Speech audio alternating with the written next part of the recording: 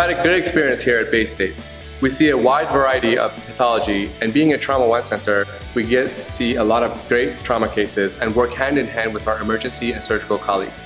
What I really like about this place is the dedication from our attendings to resident education and getting us involved with publications and allowing us to attend national conferences. This has allowed me to build a strong CV and attend my top choice of fellowship at Johns Hopkins. From day one at Baystate Medical Centre you were treated as a colleague in this department. My opinions were respected and I felt an integral part of the diagnostic team. My seniors and colleagues are very available when I need help. Originally, I'm from Vietnam and then I lived in the West Coast for 10 years, so I felt a little nervous moving away from my second hometown, but Baystate made me feel very welcome.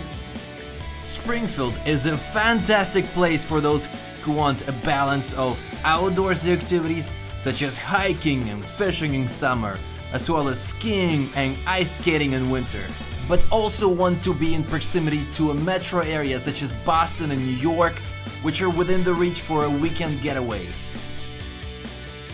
The radiology program at Baystate Medical Centre is respected across the country with our residents being incredibly successful at obtaining competitive fellowships and attending positions in university hospitals and prestigious private practice radiology groups.